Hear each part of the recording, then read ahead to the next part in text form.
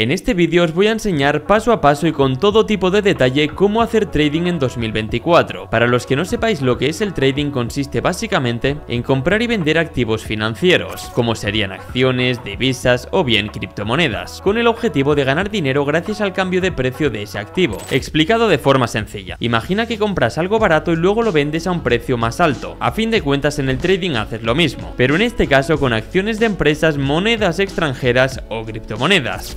De hacer trading tenemos dos formas, una comprar y la otra vender. Primero de todo quiero recalcar que con ambas se puede ganar dinero, siempre y cuando tu operación vaya en la misma tendencia que el mercado, es decir, cuando crees que el precio de un activo va a subir, lo compras. Y por otro lado, cuando crees que el precio va a bajar, lo vendes para intentar ganar dinero con la diferencia. Por ejemplo, en el momento de grabar este vídeo, Bitcoin tiene un precio de 71 mil dólares. Imaginaos que tras haber realizado un análisis previo, tengo la convicción de que en los próximos días va a alcanzar los 74 dólares. Pues en este caso lo que haríamos sería abrir una orden de compra, o también conocido como una posición en largo. Y por contra, imaginaos que en lugar de subir tengo la convicción de que el precio va a bajar, por ejemplo hasta los 67 mil dólares. Entonces, en este caso lo que haríamos sería abrir una orden de venta, también conocido como una posición en corto. El caso es que siempre y cuando la tendencia del mercado vaya a favor de nuestra operación ganaremos dinero, tanto si es una compra como una venta. Así que para dar comienzo con esta guía completa sobre trading, vamos a empezar con los distintos tipos de activos que existen para hacer trading. El primero y uno de los más comunes serían las acciones. Básicamente son participaciones de una empresa, de tal forma que al comprar una acción te conviertes en propietario de una pequeña porción de esa empresa. Ideal para aquellos interesados en el rendimiento de empresas individuales. Pueden ser volátiles pero también ofrecen el potencial de altas ganancias. Un ejemplo sería comprar acciones de Apple o Amazon. En segundo lugar tendríamos las divisas, o también conocido como Forex. De trading solemos relacionar este tipo de operativa con el comercio de divisas, o dicho de otra forma, el comercio de monedas extranjeras. Es adecuado para aquellos quienes estén interesados en la economía global y las tasas de cambio. Cabe recalcar que es un mercado muy líquido y está abierto 24 horas. Es cuando se compra una moneda y se vende otra de forma simultánea. Un ejemplo sería comprar euros y vender dólares. El siguiente activo serían las criptomonedas. Son altamente volátiles y arriesgadas, pero con un potencial de grandes retornos. Los ejemplos más conocidos serían el caso de Bitcoin o Ethereum. El siguiente activo a mencionar serían los bonos. Es un tipo de deuda emitida por empresas o gobiernos. Cuando compras un bono, básicamente le prestas el dinero al emisor a cambio de un interés. Son menos volátiles que las acciones, ofrecen ingresos fijos y son más seguros pero con menores rendimientos potenciales. Un ejemplo serían los bonos del Tesoro de Estados Unidos. El siguiente activo el cual puede ser utilizado para hacer trading serían las commodities, o también conocido en español como materias primas. Son productos básicos que se pueden comprar y vender, o sería el oro, la plata o el petróleo. En siguiente posición tenemos los fondos cotizados en bolsa, o también conocidos como ETFs. Son fondos que se negocian en la bolsa y replican el comportamiento de un índice, como sería el tan conocido SP500, un índice el cual agrupa las 500 empresas más importantes de Estados Unidos. Es la mejor forma de diversificar en un solo producto, y es por esta razón que conlleva menos riesgos que invertir en una sola acción. El siguiente activo serían los índices bursátiles. Representan el rendimiento general del mercado de un sector, como sería el caso del Dow Jones Industrial Average. Y por último, pero no menos importante, tendríamos los derivados. Son contratos cuyo valor deriva de un activo subyacente, incluyendo opciones, futuros y swaps. Es el producto perfecto para los traders más avanzados, ya que permiten especular o cubrir riesgos, aunque también pueden ser complejos y arriesgados. Un ejemplo serían contratos de futuro sobre el petróleo. Cada tipo de activo tiene sus propias características y riesgos, por lo que no hay un activo que sea mejor que otro, sino que básicamente dependerá de tu conocimiento, experiencia y apetito al riesgo. En el siguiente apartado vamos a tratar la terminología clave, es decir, aquellas palabras que se suelen utilizar a la hora de hacer trading. La primera sería un activo. Como he mencionado anteriormente, es cualquier cosa que se pueda comprar y vender en el mercado financiero, como serían acciones, divisas, criptomonedas o bonos. El siguiente término sería broker. Es una persona o empresa que actúa como intermediaria entre tú y el mercado. Normalmente el broker suele ser la plataforma que utilizas para hacer trading. El siguiente término sería cuenta de trading. Es una cuenta que abres con un broker para poder comprar y vender activos. Lo siguiente sería una orden de compra y venta. Básicamente es una instrucción que le das al broker para comprar o vender un activo en el mercado. Precio de mercado. Es el precio actual al que se está comprando o vendiendo un activo. Por ejemplo, siguiendo con el caso de Bitcoin, si ahora mismo se encuentra a 71 mil dólares, ese sería su precio de mercado. Apalancamiento. Consiste en usar dinero prestado para aumentar el potencial de retorno de una inversión. Obviamente es una aguja de doble filo, tanto puede exponenciar las ganancias como también las posibles pérdidas. Margen es el dinero que necesitas depositar para mantener una operación apalancada. Stop loss es una orden para vender un activo cuando alcanza un precio determinado, limitando de esta forma la posible pérdida. Take profit es una orden para vender un activo cuando alcanza un precio determinado, asegurando la posible ganancia. Volatilidad es la medida de cuánto fluctúa el precio de un activo en un periodo de tiempo determinado. Análisis técnico es el estudio de gráficos y patrones de precio para predecir posibles movimientos futuros. Análisis fundamental es el análisis de salud financiera y desempeño de una empresa, con el fin de determinar su valor intrínseco. Tendencia es la dirección general en la que se mueve el precio de un activo, bien sea al alza, a la baja o lateralmente, lo que significa que se mueve tanto al alza como a la baja de forma imprecisa. Resistencia es un nivel de precio donde el activo tiende a encontrar presión de venta y por lo tanto impide que pueda subir más. Soporte es un nivel de precio donde el activo suele encontrar presión de compra, haciendo que sea difícil bajar. PIP es la unidad más pequeña en el precio de movimiento del mercado Forex. Contrato por diferencia, CFD, es un contrato que te permite especular sobre el movimiento de precios de un activo sin realmente llegarlo a poseer. Y por último, indicador. Es la herramienta utilizada en análisis técnico para interpretar los datos de precios, volúmenes y otros factores del mercado. A continuación damos paso al apartado número 3, que sería preparación para empezar en el trading. En este apartado vamos a hablar sobre establecer objetivos y gestión del riesgo. A la hora de hacer trading es fundamental definir metas y decidir qué quieres lograr. Buscas ingresos adicionales, convertirlo en tu trabajo principal o simplemente aprender por curiosidad. Por otro lado, debes definir tu horizonte temporal, es decir, si tus objetivos son a corto, mediano o largo plazo. De esta forma podrás cuantificar tus metas, estableciendo objetivos medibles como un porcentaje de retorno anual o una cantidad específica de ganancias mensuales. En cuanto a gestión del riesgo, es fundamental determinar el capital de riesgo, es decir, cuánto dinero estás dispuesto a arriesgar. Bajo mi punto de vista, nunca deberías utilizar dinero que no te puedas permitir perder. Con esto me refiero a ese dinero que tengas que utilizar en un futuro para pagar el alquiler, comida o cualquier gasto que pueda surgir, ya que como entenderás nadie sabe lo que va a pasar, y eso puede jugar tanto a tu favor como en tu contra. Lo siguiente sería tener en cuenta la regla del 1%, la cual significa no arriesgar más del 1% del capital total en una sola operación. Esto te protegerá de grandes pérdidas, para las cuales te recomiendo sin duda utilizar un stop loss, esta forma limitar esas posibles pérdidas. Lo que hace un stop loss es automáticamente cerrar tu posición cuando alcanza un límite de precio fijado, ya que imagina que estás durmiendo y el precio alcanza cierto límite el cual no puedes rebasar. Pues de esta forma y gracias a esta herramienta la operación se cerraría de forma automática. Algo fundamental en relación con la gestión del riesgo sería la diversificación. Y es que como siempre digo no pongas todos los huevos en la misma cesta. Y lo mismo ocurre con el trading. Debes evitar a toda costa poner todo tu dinero en un mismo activo o mercado. Y por último recuerda realizar un análisis previo antes de cada operación, haciendo uso de una estrategia predefinida con el fin de evitar operar basándote en operaciones emocionales o corazonadas. Llegados a este punto seguramente muchos de vosotros os estéis preguntando qué plataforma o broker recomiendo para hacer trading. Lo cierto es que a día de hoy hay múltiples opciones entre las cuales poder escoger, así que antes de revelaros la plataforma que yo recomiendo, aquí van ciertos puntos los cuales sin duda os serán de gran utilidad a la hora de seleccionar un broker. La hora de yo utilizar una plataforma debe cumplir ciertos requisitos. Debe ser una plataforma intuitiva y fácil de usar, sobre todo si eres principiante. El segundo aspecto a tener en cuenta serían los costos y comisiones. Debes revisar las comisiones por operación, así como las tarifas de mantenimiento y otros costes asociados a tu cuenta. En este caso, el broker que yo utilizo y el cual muchos de vosotros seguramente conozcáis no cobra comisiones de ningún tipo.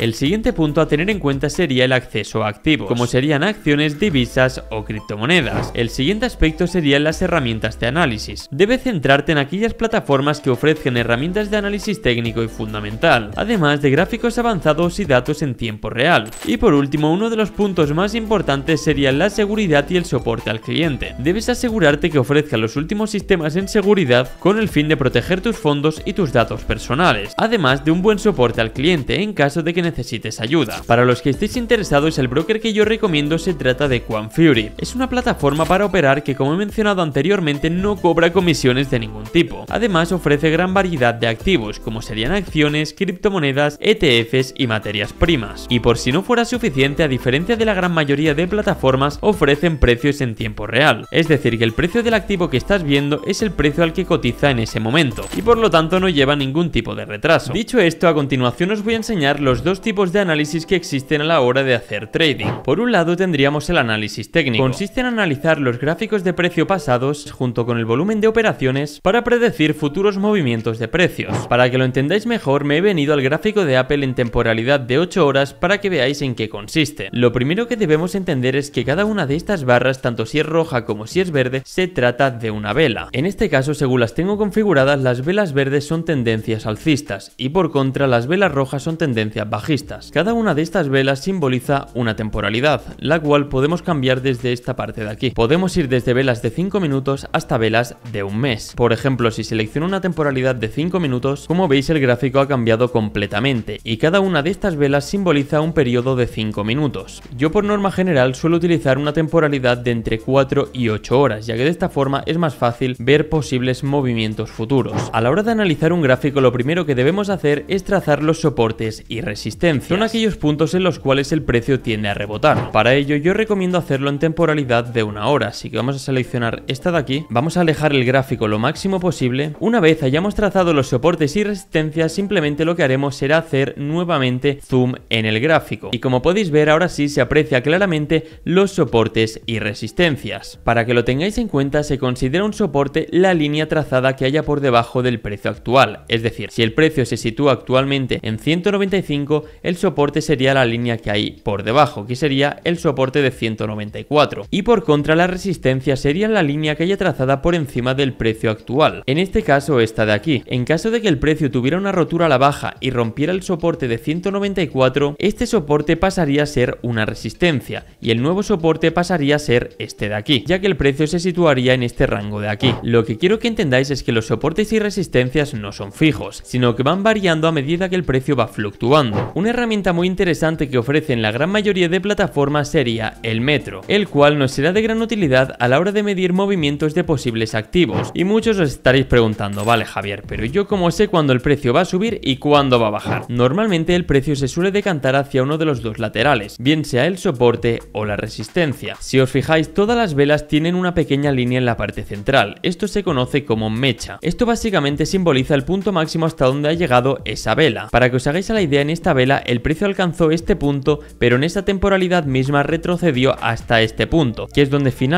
cerró en cuerpo. El caso es que cuando la mecha rompe por encima de la resistencia, pero el cuerpo de la vela cierra por la parte inferior, esto se conoce como una falsa rotura, ya que a simple vista parece que el precio vaya a romper la resistencia y vaya a continuar al alza, pero como el movimiento no tiene suficiente fuerza, ha retrocedido a la parte inferior. Es entonces cuando normalmente se confirma una tendencia a la baja, precedida de esta falsa rotura, y lo mismo si sucediera a la baja. Si os fijáis, esta mecha de aquí ha sobrepasado el soporte y ha vuelto a subir, de modo que el cuerpo de la vela ha cerrado por encima del soporte, por lo que seguidamente se ha producido una tendencia al alza. Quiero recalcar que no siempre es así, pero en el 90% de los casos suele repetirse este mismo patrón. Además, en ciertas ocasiones suelen darse patrones de cambio de tendencia. Son figuras que aparecen en el gráfico formadas por velas las cuales nos dan a entender un posible cambio de tendencia. Estas figuras, mientras más tiempo le dediques a analizar gráficos, más fácil te será detectarlas. Algunos de estos patrones serían figuras como cabezas y hombros, banderas o triángulos.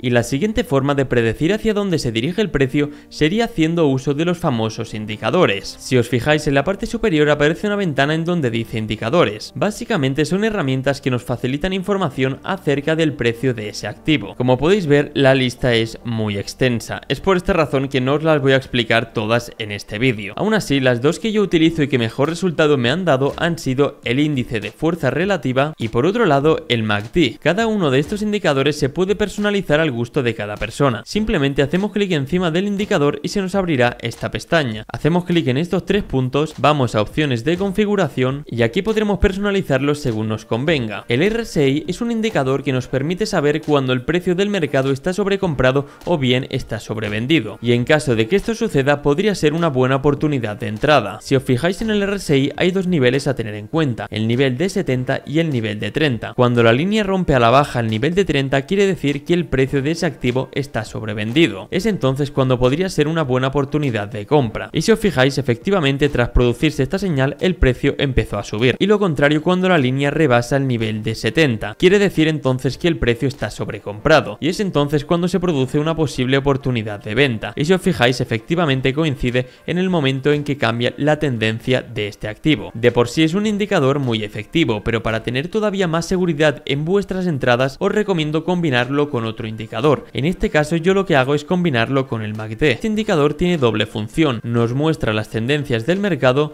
y nos muestra las medias móviles. Gracias a las tendencias del mercado podemos saber si un activo está al alza o bien a la baja. Y gracias a las medias móviles, es decir, estas dos líneas que aparecen aquí, tanto de color azul como de color naranja, nos permiten saber el punto exacto de entrada. Es decir, cuando vemos que la línea azul va a sobrepasar la línea naranja, quiere decir que es un buen momento de compra. Y si os fijáis, precisamente coincide con la tendencia al alza. Y lo mismo cuando se produjese un nuevo cruce. Todo dependerá en ese momento de la tendencia del mercado. Quiero que tengáis en cuenta que ningún indicador muestra el futuro, sino que muestra lo que está pasando en ese preciso instante, o incluso lo que ha pasado. Por esta razón, antes de realizar una operación, tanto si es al alza como a la baja, recomiendo realizar distintas confirmaciones, tanto con indicadores como con patrones de precio. De esta forma podremos minimizar el riesgo de esa operación. Sinceramente, la mejor forma de aprender a analizar gráficos es ir probando las distintas funciones que ofrece la plataforma y de esta forma descubrir lo que mejor funciona según vuestra operativa. Y por otro lado tendríamos el análisis fundamental. Consiste en analizar el valor intrínseco de un activo financiero mediante el estudio de factores económicos, como estados financieros o análisis económicos. En este caso, para estar al día de cualquier noticia financiera utilizo dos páginas. La primera de ellas sería Yahoo Finanzas. En el feed principal nos aparecen las noticias destacadas más recientes. Para mirar cualquier noticia en cuestión,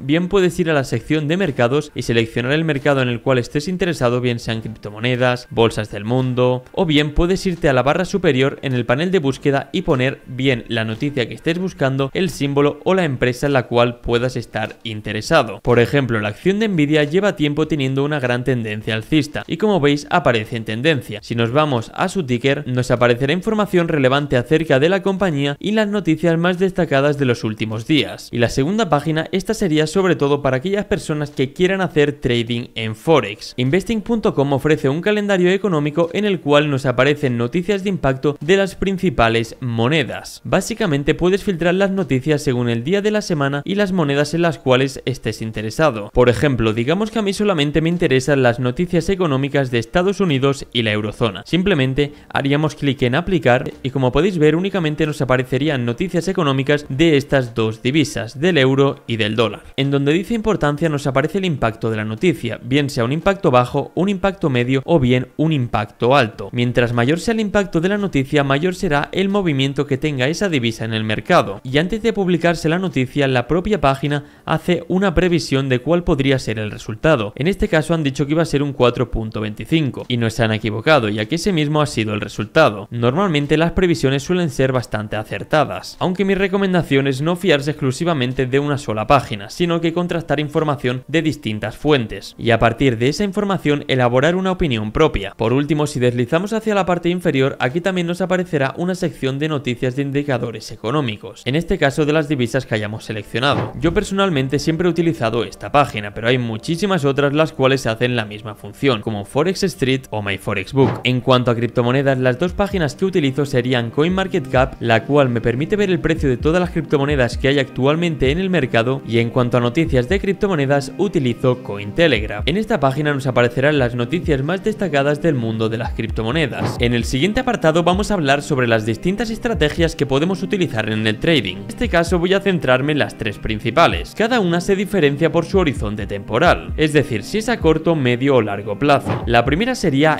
scalping. Es una estrategia de trading que se centra en obtener pequeñas ganancias de manera frecuente a lo largo del día. Es decir, consiste en hacer múltiples operaciones cada día, aprovechando cualquier pequeña fluctuación en el precio de ese activo. Su característica principal es que su horizonte es a muy corto plazo, desde segundos hasta cuestión de minutos, realizando docenas o incluso cientos de operaciones al día. A mí personalmente no me acaban de gustar las estrategias de scalping, básicamente ya que conllevan un alto riesgo, debido a que tienes que tomar decisiones rápidas y precisas, y sobre todo requieren un alto grado de concentración. La segunda estrategia de la cual quiero hablaros sería el day trading. Implica comprar y vender activos dentro del mismo día de trading, es decir, que todas las operaciones deben cerrarse antes de finalizar el día, para de esta forma evitar los riesgos de mercado durante la noche. Su horizonte temporal sigue siendo corto, pese a que las operaciones suelen mantenerse abiertas durante un par de horas. En cuanto a la frecuencia de operaciones, en esta modalidad suelen realizarse un par de operaciones al día, con el fin de aprovechar los movimientos de precio intradía basados en patrones, noticias y análisis técnico. El riesgo que conlleva esta estrategia es de moderado a alto, dependiendo de la estrategia y de la volatilidad del mercado. Y por último tendríamos el swing trading. Consiste en detectar movimientos de precio los cuales se desarrollan en un periodo de varios días o semanas. Es decir, lo que buscamos en esta estrategia son tendencias más amplias, a través de oportunidades basadas en análisis técnico y fundamental. El horizonte temporal de esta modalidad sería medio, teniendo en cuenta que las operaciones pueden mantenerse abiertas desde días hasta cuestión de semanas, y en comparación con otras modalidades como el scalping o el day trading, la frecuencia de operaciones en este caso sería relativamente baja, ya que en comparación con estas otras estrategias suele haber menos oportunidades, pero las pocas que hay deben aprovecharse. En cuanto al nivel de riesgo sería moderado, ya que las posiciones se mantienen durante más tiempo, lo que puede implicar exposición a eventos inesperados en el mercado. Estas serían las tres estrategias que podemos encontrar a la hora de hacer trading. Todo ello dependerá del horizonte temporal en el cual queramos operar y del nivel de riesgo que estemos dispuestos a asumir. Ahora que ya tenemos el conocimiento básico para hacer trading, os voy a enseñar cómo abrir una cuenta. Como os venía diciendo, el broker que yo utilizo se trata de Fury, así que basándome en mi propia experiencia os voy a enseñar cómo abrir una cuenta en esta plataforma. Quiero recalcar que no quiero incitar a nadie a utilizarla por el simple hecho de que yo la esté recomendando. Lo cierto es que existen muchísimas plataformas, pero al menos a mí tras haber estado utilizándola durante un año es la que mejor me ha funcionado, bien sea por el servicio de atención al cliente como por la alta gama de productos que ofrece. Para registraros tanto en la descripción como en el primer comentario fijado tendréis un enlace desde el cual poder acceder a Fury. Quiero decir que se trata de un enlace de afiliado, es decir que por cada persona que se registre, tanto vosotros como yo recibimos de forma gratuita o una acción o una criptomoneda de hasta 250 dólares. En resumen, que mi incentivo es el mismo que el vuestro, si a vosotros os dan una acción de 100 dólares yo voy a recibir esa misma acción. Una vez aquí simplemente tendréis que hacer clic en el botón de regístrate y poner el código Javier, ya que si os registráis sin poner el código no vais a recibir la recompensa gratuita. El proceso de registro suelen ser literalmente 5 minutos. Una vez dentro, aunque a simple vista parezca muy complejo, es más sencillo de lo que parece. Lo primero que tendremos que hacer para empezar a hacer trading será depositar dinero en nuestra cuenta. Para ello simplemente iremos a la sección de cuenta y aquí encontraremos dos tipos de cuenta, la billetera spot y la cuenta de trading. La billetera spot es básicamente donde aparece el saldo disponible de nuestra cuenta y la cuenta de trading como su nombre bien indica sería la cuenta desde la cual vamos a poder realizar operaciones. Para depositar dinero se hará desde la billetera spot y luego deberá transferirse a la cuenta de trading. Así que haremos clic en billetera spot y aquí como podéis observar hay una gran variedad de activos desde los cuales podemos realizar el depósito. En mi caso como soy de España lo haría en euros. Simplemente tendría que hacer clic en depositar, transferencia bancaria y por último lo que tendría que hacer sería ir a mi cuenta bancaria y realizar una transferencia a los datos que aparecerán censurados en pantalla. Esa información son los datos de depósito de mi cuenta de Fury. Vosotros simplemente tendréis que realizar un depósito a los datos que os aparezcan en vuestra cuenta y en un día hábil recibiréis los fondos en vuestra billetera. Y lo mismo para retirar, simplemente haríamos clic en esta opción, pondríamos el monto que quisiéramos retirar y haríamos clic en continuar. Por último pondríamos el IBAN de nuestra cuenta bancaria y para finalizar haríamos clic nuevamente en continuar. Y en menos de un día recibiremos el dinero en nuestra cuenta bancaria. Una vez recibáis el dinero para poder pasarlo a la cuenta de trading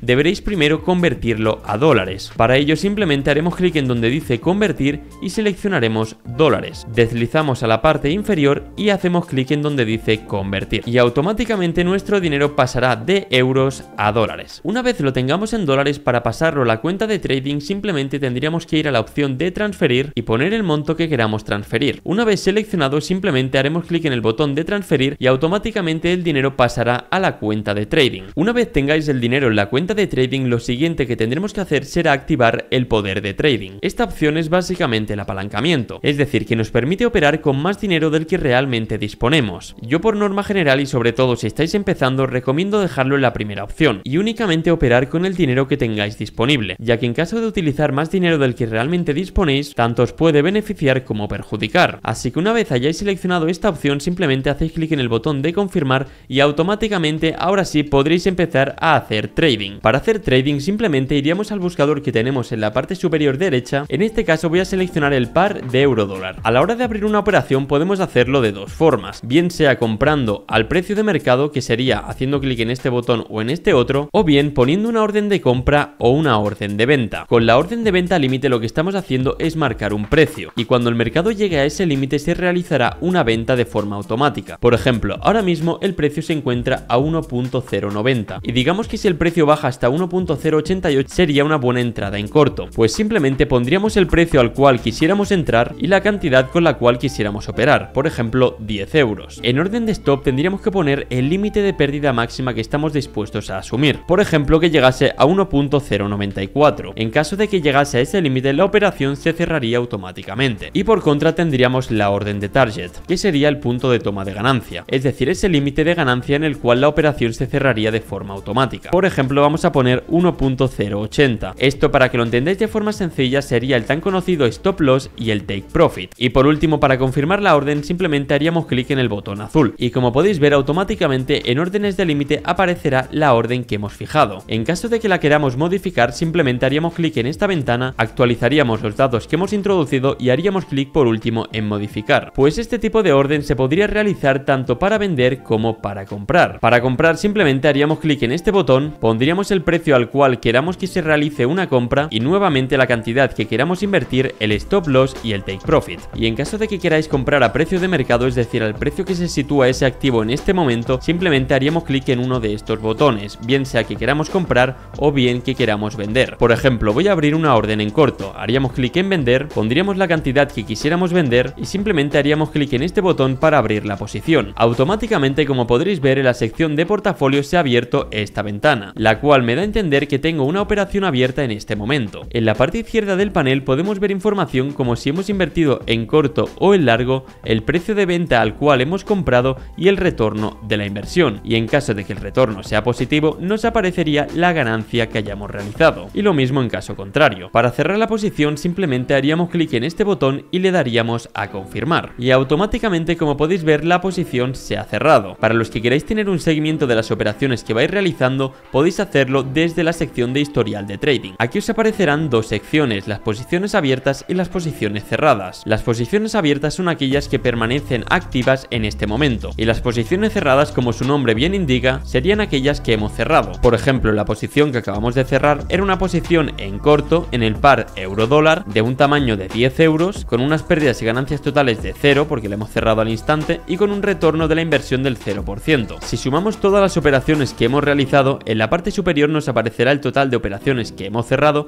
y las pérdidas o ganancias totales que acumulamos en nuestra cuenta. Esto es muy interesante ya que nos permite tener una orientación de cómo lo estamos haciendo. Para finalizar con el vídeo quería ofreceros algunos recursos de los cuales podéis hacer uso para seguir aprendiendo sobre trading. En este caso tres libros que a mí personalmente me han ayudado muchísimo para seguir formándome en esta materia. El primero sería Análisis técnico de los mercados financieros. Este libro es una guía completa sobre análisis técnico y es considerado un recurso fundamental para cualquier trader. Aborda una amplia variedad de temas como patrones de gráficos, indicadores y osciladores, la teoría del Dow, análisis de tendencias, estrategias de trading y por último algunas herramientas las cuales te pueden ser de gran utilidad. Lo mejor es que este libro está lleno de ejemplos prácticos y gráficos los cuales te ayudarán a ilustrar los conceptos y las técnicas que se mencionan. El segundo libro sería El nuevo vivir del trading. En este libro su autor, Alexander Elder, combina su experiencia en psiquiatría y trading para ofrecer un enfoque integral en el trading, cubriendo aspectos técnicos, psicológicos y de gestión del dinero. En el libro se tratan temas como análisis técnico, gestión del dinero e incluso hace especial hincapié en el sistema de trading de triple pantalla. Es un libro conocido por su enfoque práctico y sus consejos útiles sobre cómo sobrevivir y prosperar en los mercados financieros. Y por último, pero no menos importante, tendríamos Trading en la zona. Mark Douglas enfoca la psicología del trading y en cómo desarrollar una mentalidad ganadora. Este libro es esencial para entender y superar las barreras mentales que pueden afectar al desempeño de un trader, tratando temas como las creencias y actitudes, la consistencia, el riesgo y probabilidades y sobre todo la confianza y disciplina en uno mismo. Es un libro ampliamente respetado por su enfoque profundo en la psicología del trading, ofreciendo herramientas prácticas para desarrollar la mentalidad necesaria para el éxito a largo plazo en los mercados financieros. Por último, antes de acabar con esta guía completa sobre trading, quiero hablaros sobre los errores más comunes, los cuales sin duda debes evitar a toda costa. El primero sería la falta de un plan de trading. Operar sin un plan claro y definido puede llevar a decisiones impulsivas, sobre todo pérdidas significativas. Es por esta razón que debes desarrollar un plan de trading detallado que incluya tus objetivos, estrategias, criterios de entrada y salida y reglas de gestión de riesgos. El segundo error sería no usar stop loss. No establecer niveles de stop loss puede resultar en pérdidas excesivas si el mercado se mueve en contra de tu posición, así que recuerda siempre utilizar órdenes de stop loss para limitar tus pérdidas proteger tu capital. El error número 3 a evitar sería el sobreapalancamiento. Usar demasiado apalancamiento puede ampliar tanto las ganancias como las pérdidas, poniendo en riesgo tu cuenta de trading. Como os he comentado anteriormente, el apalancamiento es una aguja de doble filo, tanto te puede beneficiar como perjudicar, así que si lo llegaras a utilizar que sea con cabeza y con una correcta gestión del riesgo. Y este es precisamente el siguiente error, una falta de gestión de riesgo. No gestionar adecuadamente el riesgo puede llevar a pérdidas devastadoras. Por esta razón debes implementar estrategias de gestión de riesgo como limitar el tamaño de tus posiciones, sobre todo diversificar tus inversiones. El siguiente punto sería negociar basado en emociones. Tomar decisiones impulsadas en el miedo, la codicia o la esperanza puede ser perjudicial. Es por esta razón que debes mantener la disciplina y seguir a rajatabla tu plan de trading, independientemente de tus emociones. Lo siguiente a tratar sería la falta de educación y preparación. Entrar en el trading sin el conocimiento y la preparación adecuada puede llevar a errores muy costosos, así que invierte tiempo en educarte sobre los mercados financieros, análisis técnico y fundamental y sobre todo estrategias de trading. El punto 7 sería ignorar el análisis de mercado. No realizar un análisis del mercado antes de realizar una operación puede resultar en decisiones mal informadas, así que recuerda antes de entrar en una operación realizar un análisis técnico y fundamental exhaustivo, para de esta forma respaldar tus decisiones de trading. El punto 8 sería no tener un diario de trading. No registrar tus operaciones y reflexionar sobre ellas puede impedir tu aprendizaje y mejora continua, así que la solución sería llevar un diario de trading donde anotar todas tus operaciones, incluidas las razones para entrar y salir, y revisarlo regularmente para identificar patrones y áreas de posible mejora. Y como último error a evitar sería el de tener expectativas poco realistas. Esperar ganancias rápidas y consistentes sin considerar los riesgos puede llevar a la desilusión y a tomar riesgos innecesarios. Por esta razón que debes establecer expectativas realistas y comprender que el trading es una actividad que requiere tiempo, esfuerzo y paciencia para ser rentables. Hasta aquí esta guía completa sobre trading, espero que os haya parecido interesante y sobre todo que os haya sido de utilidad. Hemos tratado conceptos básicos, análisis de mercado, estrategias de trading, la apertura y gestión de una cuenta y la ejecución de operaciones. Te agradecería que le dieras un buen like por todo el esfuerzo que me ha llevado y sobre todo que si tienes cualquier duda me la dejes en los comentarios, para que de esta forma al responderte pueda ayudar a otras personas que se encuentren en esa misma situación. Si todavía no estás suscrito al canal, recuerda suscribirte para no perderte próximos vídeos de este estilo y ahora sí, sin más dilación, nos vemos en la próxima.